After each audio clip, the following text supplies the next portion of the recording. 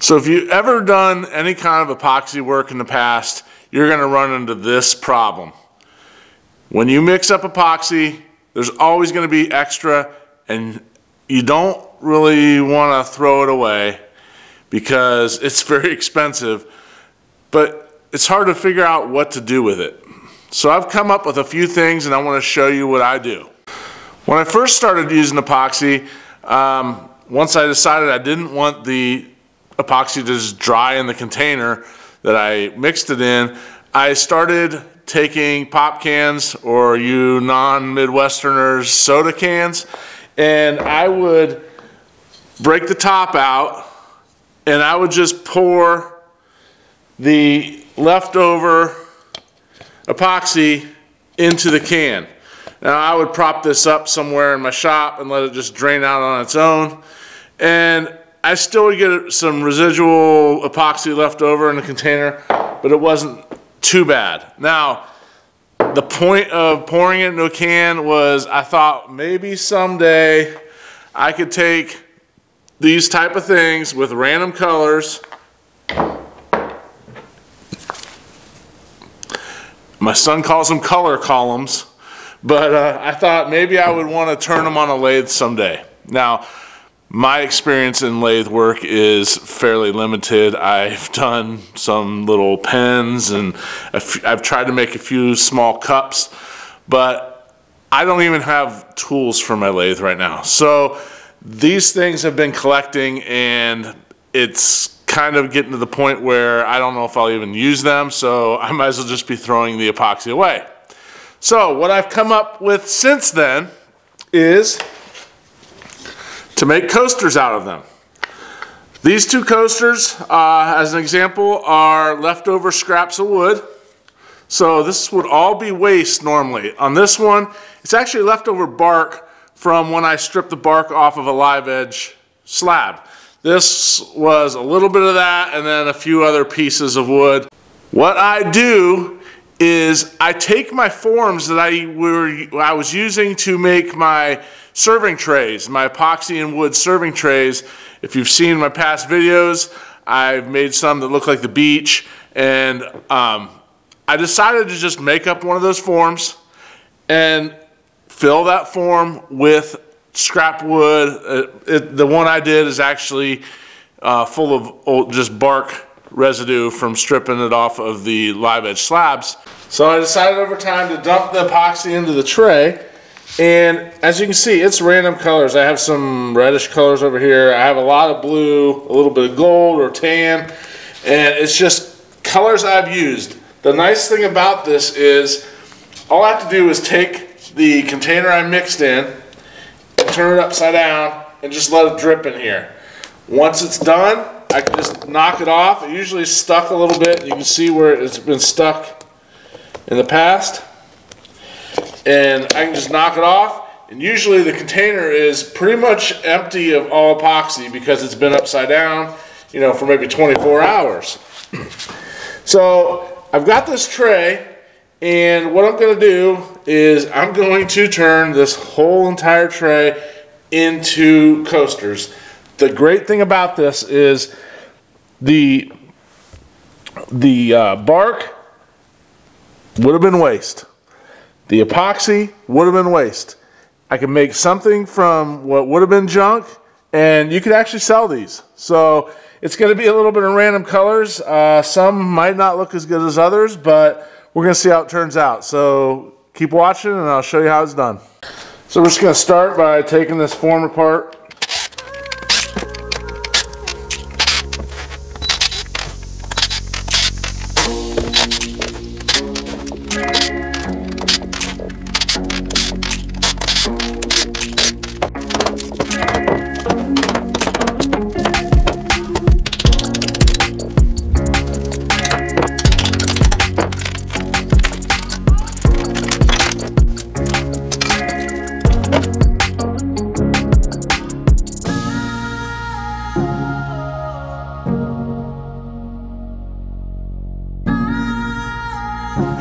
now we're gonna run this to the surface planer and get it down to about 3 eighths of an inch thick.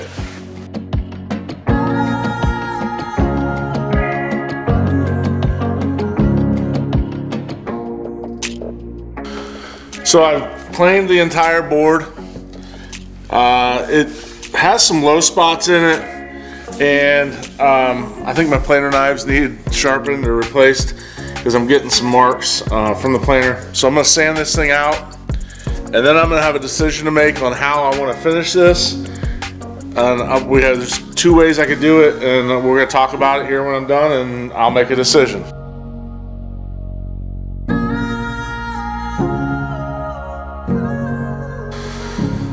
So I've sanded this entire thing and I have a decision to make. How am I to finish this?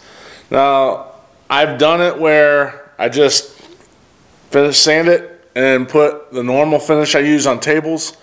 Um, it works really good, looks really good. However, I've got, this is the first time I've tried doing this with the bark and the pouring it into the tray. So I didn't know what I was going to encounter. And what I've encountered is there's some voids where epoxy didn't find its way in and I really don't want those unfilled. And I have them on both sides. There's a void up in here. So what I'm gonna do is I'm gonna do a light flood coat over the entire thing. That will fill in the voids and it's just gonna be clear but it'll fill in the voids. It'll also repair the epoxy kind of where it's been scratched from the sander or any kind of planer marks on it, it'll repair that and make it look like nothing was ever done to it. Um, that's one nice thing about epoxy is uh, a clear coat can fix any kind of imperfections in the surface of the previous coat. So I'm going to do that and I think that's how we're going to finish it. But if you wanted to do this where you just put on a product, I use a product called Odie's Oil to finish my tables. Uh, you could put that on here and it will work just as well uh, if, if that's something you wanted to do. So we're going to put a flood coat on here and see how it goes. Now when doing a flood coat with epoxy, one thing you're going to need to do is you're going to need to do something to prevent the drips from causing damage to the other side. So I'm just going to mask this. And what will happen is the drips will form, but I can peel them right off uh, with the masking tape. Um, I've done this before on some tabletops. It works well. So we're going to do it again right here. And this is actually the bottom side So I'm actually going to flood the other side first.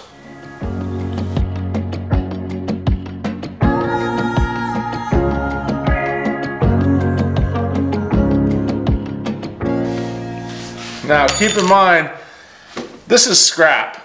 Um, so if it floods over, forms some drips, really isn't that big of a deal because you could just trim them off when you go to cut it. Now I'm going to set these on uh, tape wrapped block, reason being it won't get stuck to the block, it also won't get stuck to the table. And I want to check for level, and this is way out of level. One way to fix that is just use some shims. It's still way out of level.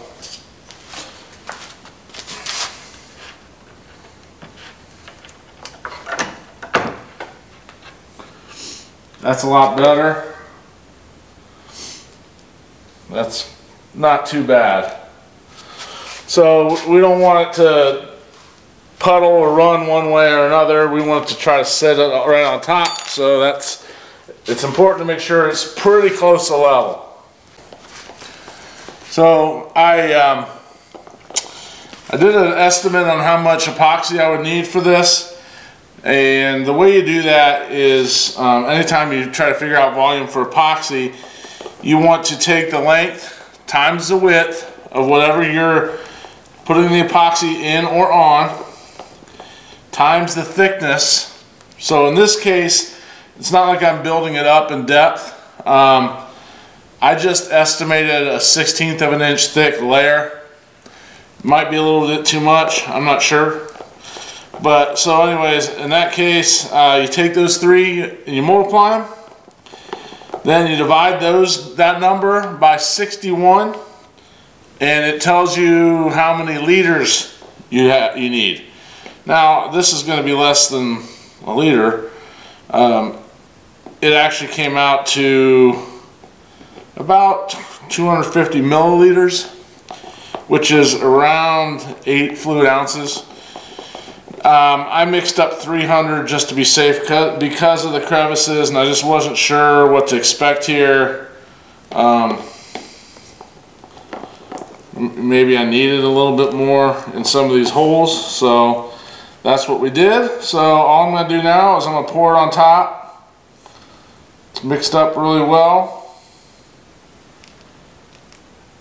Run it down in some of these holes that feel are a problem. And I'm not going to put it all on there yet.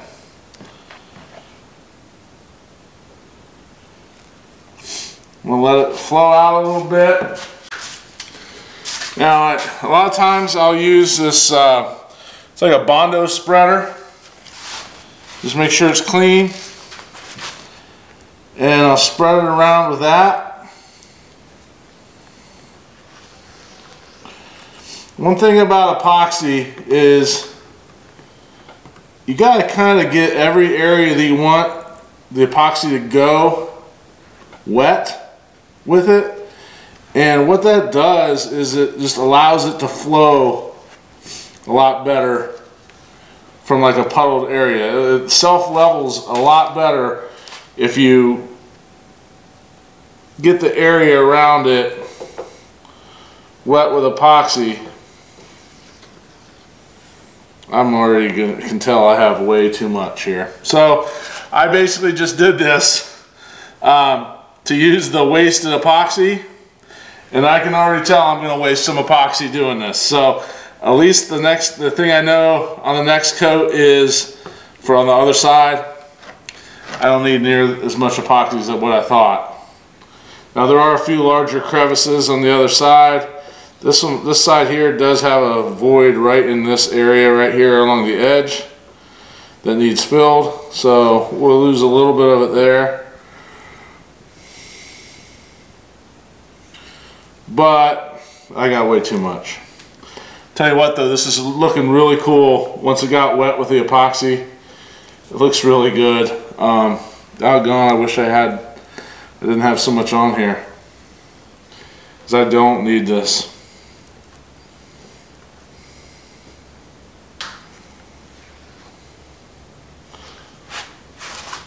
I probably needed half the amount, maybe less than what I mixed. There's some holes here yet. But yeah, I didn't need even close to this much. Wish I could flip it over.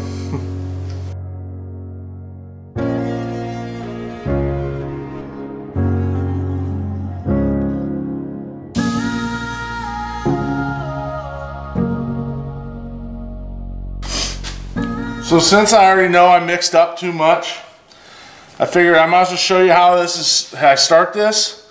So I just take my pieces of bark, fit them in,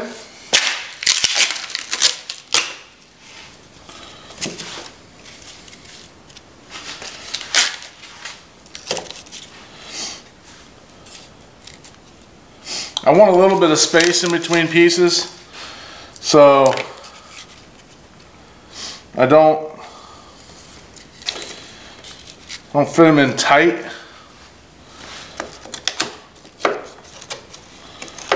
There's the space at that's where you get all your color from. So um, I'm not overly worried about having little floater pieces in there because they'll just get they'll just get kind of find their place in the whole design of it.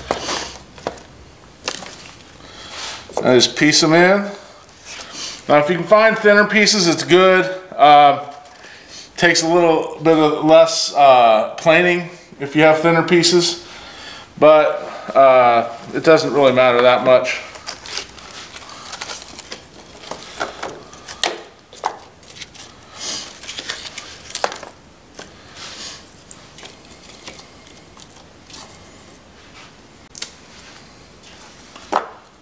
So try to fill most of the area so you get some variation, but I don't want to fill it tight.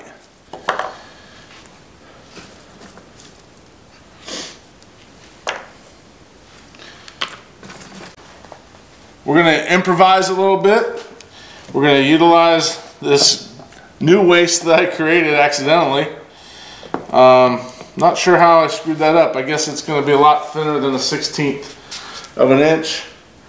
Before I do anything with this epoxy, I want to make sure that this is leveling out okay.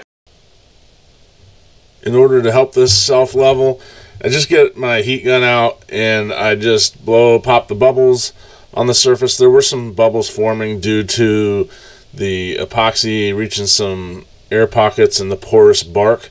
And so I just hit it with a heat gun the heat gun also warms it up a little bit and makes it flow a little bit better, which helps the self-leveling process. You just have to be careful not to scorch it by holding it in the same spot too long. Just a brief heat over top is all you need.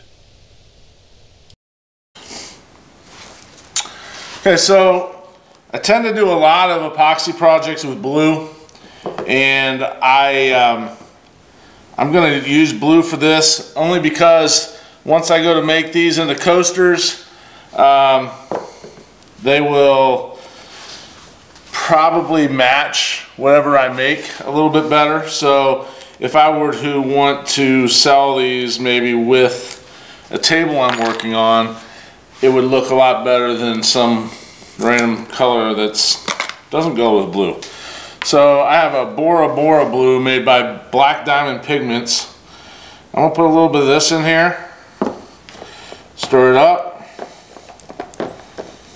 I like to get a little variety in color. Now if I were looking to get variety in color, in most cases I would mix them in separate containers. However, I just so I've mixed this batch here up with a Bora Bora Blue from Black Diamond Pigments. And um, I kind of want to get a couple different tones of blue here. Typically I would mix up two different batches if I were going to do a two-tone in something. Since this is just scrap stuff and extra epoxy from my mistake previously, uh, I'm just going to pour part of this in. And I'm going to keep it down at this one end and just kind of randomly pour it over.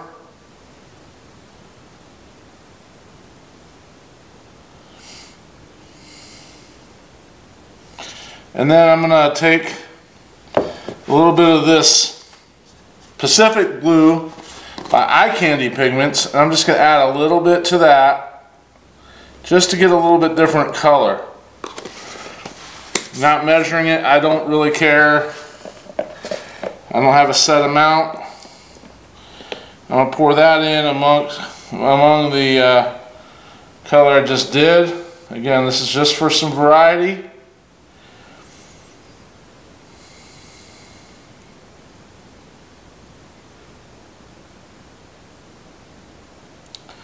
And so now since I made this mistake, you get to see what I typically do when I make too much epoxy, I'll usually let the stick that I mix her with drip. And I take the container that I mix it in and I just turn it upside down like that. And that will drip entirely out. And I'll have a basically an empty container the next time to go use it, which is really nice because then it doesn't throw off your measurements. So long as you do it like this, it's actually usually not too hard to even peel out that inner layer once it hardens. If I were to turn this over and let it dry, normally you won't get it out. Eventually that bottom will start filling up and you'll get something like this, where the bottom is solid. I have no clue how accurate it's gonna measure. Uh, you got, I got cups like this, same type of thing. Now these are still usable because I could pour into here and stir something up after it's already been mixed, but to get an accurate measurement where we split the epoxy 50% one part, 50% the other is, is, is impossible to do with something like this now. So that is what we do. We're gonna let this dry. I'll have to mix a little bit more up for the other side once this is dry and we'll be ready to start cutting them into individual coasters. So we let this dry and then just typically what I do is just kind of tap the side of it. It brings a little bark with it, but it's not anything you can't get rid of pretty easily. So, and then it's it's a pretty thin layer in here. It's pretty easy to bust out if you if you're careful and you take some time. So same thing with a stick, just comes off like that. And we have the start to a new tray full of um, of coasters. So let's take a look at where we're at now.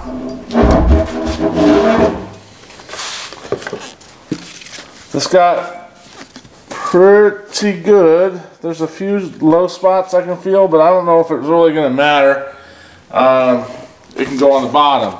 So, we got that done. We're just going to peel the tape.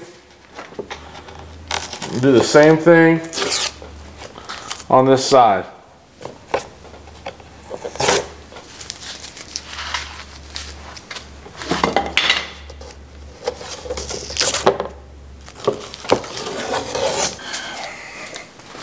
Mixed up the next batch.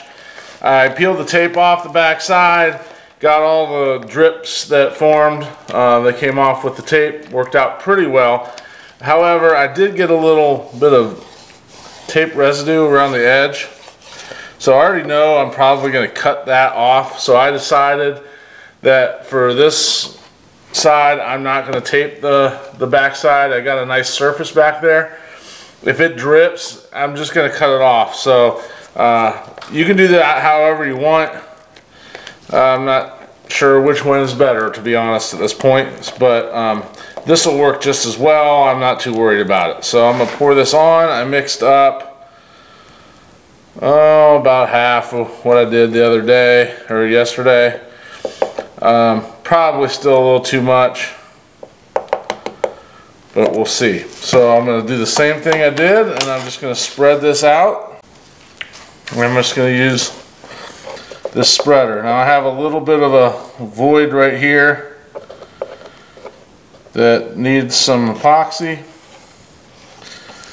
I'm to spread it over everything. Again, you want the entire surface to have at least some epoxy.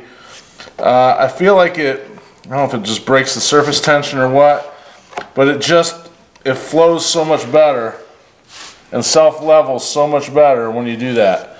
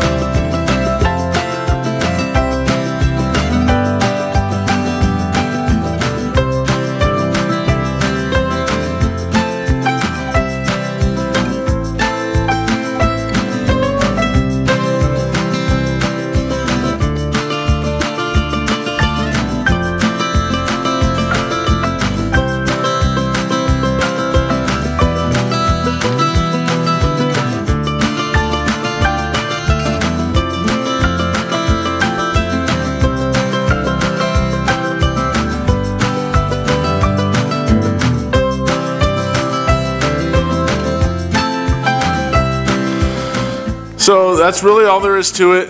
Uh, if you want to put a finish on after you cut it, you can. Uh, it, it, doesn't matter. It's kind of up to you. Now here's how they turned out.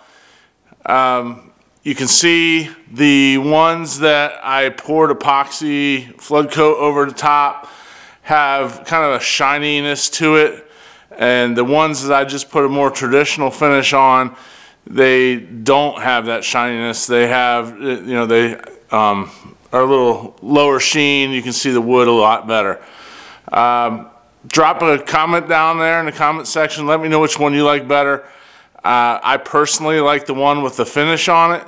I don't love um, glossy wood, especially extremely glossy like you get with epoxy. That's why when I do uh, tables, I do not usually put epoxy over the wood. Uh, I like to put a tr more traditional finish on there. I think you get a lot more of the characteristics uh, get pulled out when you do that as opposed to just looking at a really shiny board that just kind of look has a wet look to it.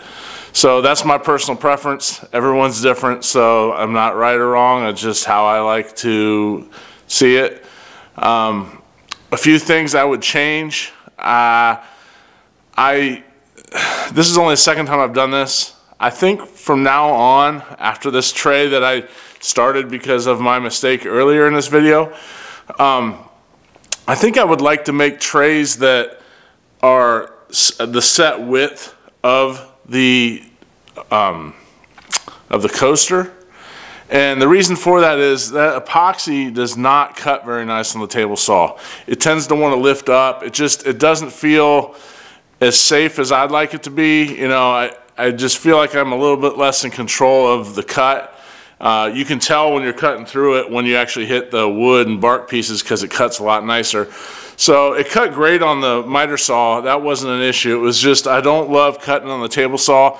So in the future, I would like to try to avoid that. So I recommend if you are doing this with your extra pieces, just build your forms however long you want, but make them the width of a coaster. Now I made these at three and three fourths wide.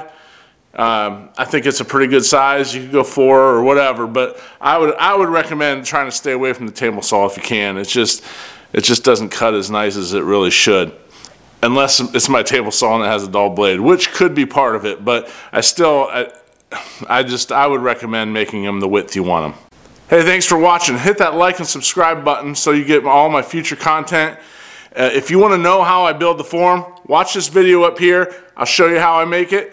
And if you just want to watch some of my other videos, uh, I got a playlist right down here that will direct you towards some stuff that you might like. Uh, and we'll see you next time.